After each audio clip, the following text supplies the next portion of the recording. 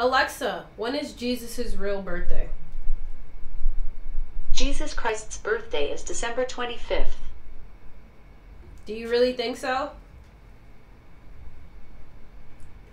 Alexa, do you really think Jesus' birthday is December 25th?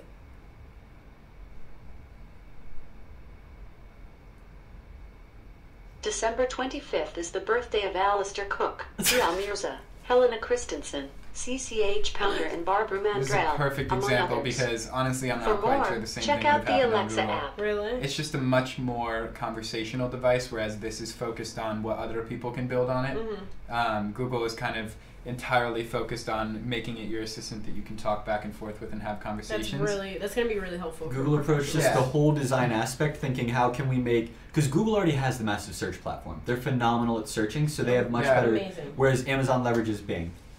Who uses Bing to do searching ever? Yeah. So their That search results are just flop. are just it's flop. Rocky's theme by the new romantic from Spotify. Hey, there it is. That's hilarious. So anytime you want to listen to any artist, all you have to do is literally just say their name and they're. That's what I need. And you once have to, to pay play music. what, like Music 20 bucks for old vinyl, 20 30 dollars to just hear the album.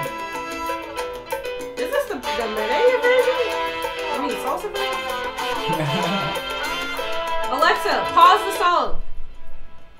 Pause. I didn't find anything called phone that can play music. Alexa, Play on your. s- stop.